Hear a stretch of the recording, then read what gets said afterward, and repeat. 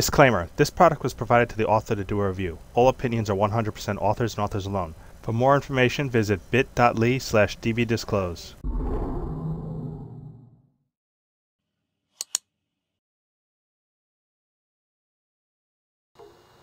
Hey guys, this is your friend Iggy back again.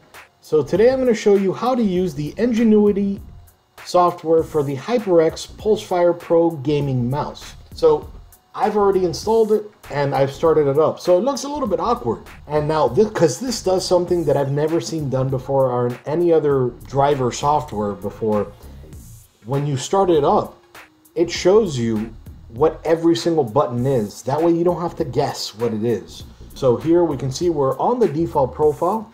Then it's showing you how to save those.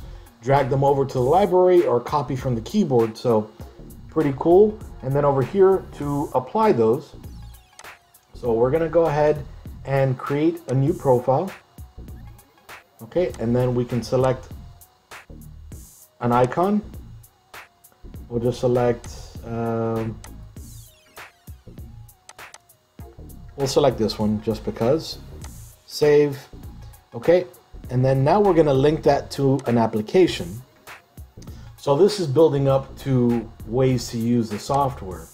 So for example, I'm going to link it up to, we'll link it to Bandicam, but I'm going to make a shortcut on my desktop. And then we'll go ahead and go to that shortcut.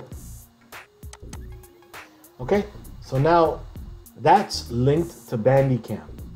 Okay, and that has the cycling profile right now. Okay, so now we'll go to, we'll go ahead and save that. Okay, and now we'll go ahead and click customize.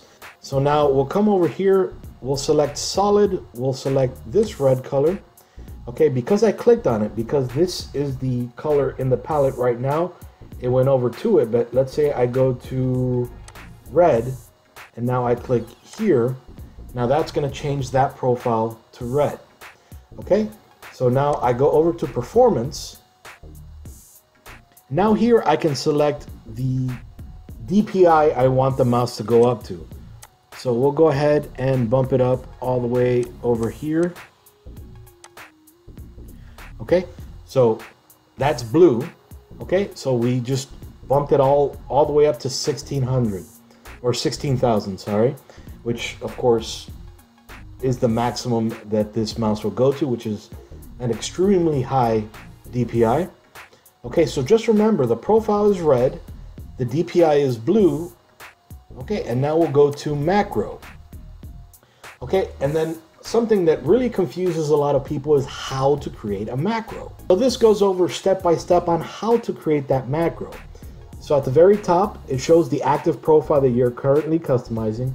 It's in red. Right below that, we can click on any of the standard keys to assign a different function.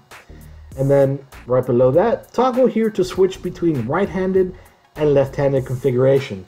This was a part that actually confused me while I was using it. And then over here, we can select the different mouse assignments. We'll do a recorded macro, okay? So we'll go to macro library and then we'll do macro one, name, we'll keep it macro one. Now we're going to give this a, let's say 10 millisecond or 19 millisecond delay. And now we're gonna record.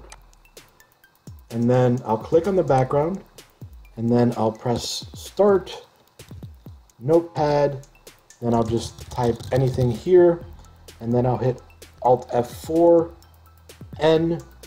Okay, and then after doing that, I'll come over here and click stop. Okay, and then at this point, I go to key assignment. I click on the back key, and then we'll go to, from the drop down, we'll select recorded macro, and then we'll select the macro name. We named it macro one, and then we'll only do play once. So at this point, now if you had a different color here, when you click save and then you click apply, it's going to go ahead and reset that color because that's the color of the profile. So now when I click the back button,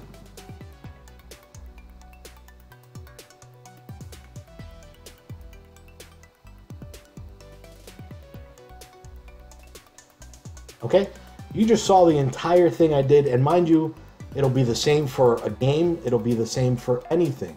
Okay, so then we'll go back to profile. Okay, so now we'll just create a new profile.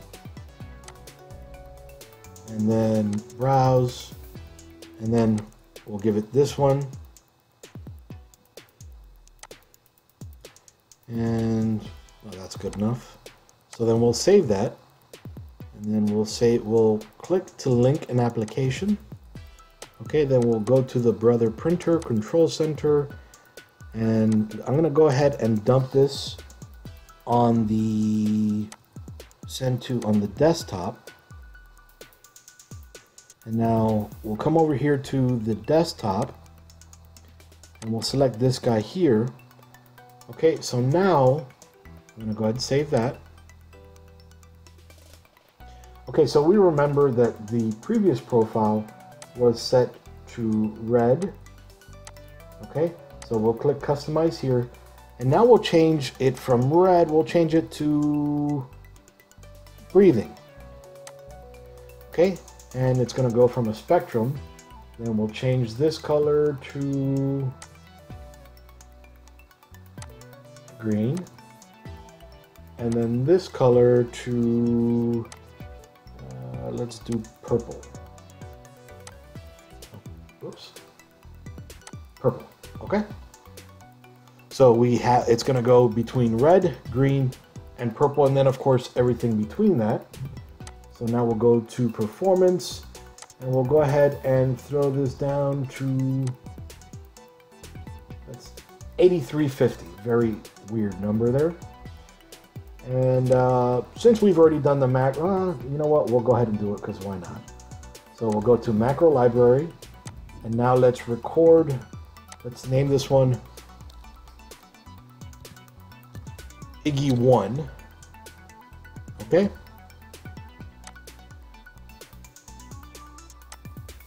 Whoops. All right, let me name this one Iggy1. Okay. And then we're gonna go ahead and record. We'll click in the background, start. Uh, let's do Edge and open that up. Okay. And then after that opens up, we'll give it a few seconds. Everything's loaded. Then we'll do an Alt F4 and then we'll hit enter and they've all closed. We're done with that macro. We gave that one, again, a 19 millisecond delay. So now let's go ahead, assign that key. Let's assign it to the forward button. Um, recorded macro, Iggy 1, play once, and then apply that. Okay, now you see that just changed. It just changed because now it's going for how we have that profile set up. So for example, I'm gonna go to profile two and I'm gonna click apply on that one. I want profile two now. Okay, and let's say, you know, the Brother Control Suite was a game. When I start that up, watch this right over here.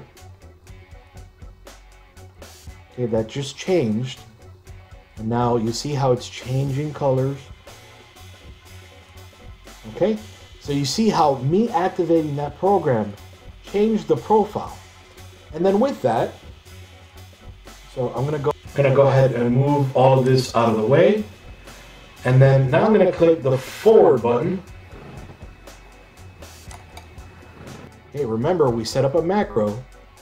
It's Chrome. Nah, you know what? I think we should use Edge. It opens up Edge, then it waits a few seconds. And, eh, forget it. We're gonna go ahead and close it.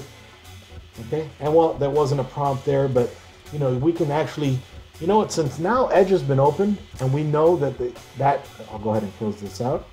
We know that Edge is no longer going to show two screens, which of course it could, Close that out. So now I click customize and I'll go to macros. I'll go to macro library. I have Iggy selected. Now, if I wanted to, I can come over here. So I see here, I hit F4 and that's when I released it. Okay, and then I hit enter and enter. But at that point, I don't need this one anymore. I don't need that one anymore.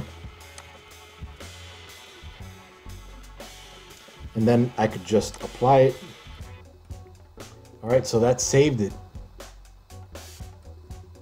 And then you see I can go in and I can insert more macros or more keystrokes or more however I like. I can insert more or I can remove more.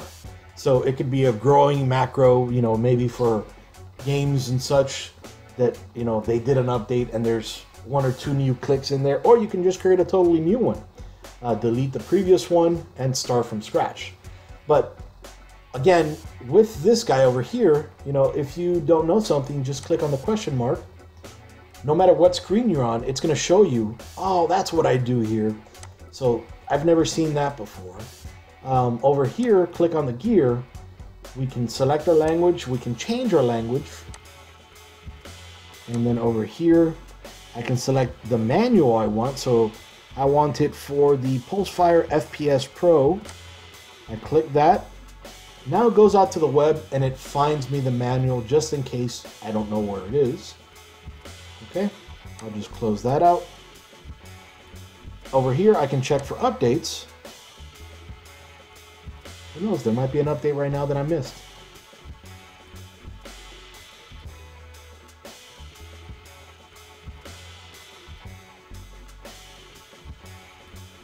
All right, your software is up to date, no update needed. Click OK. Click on the gear again.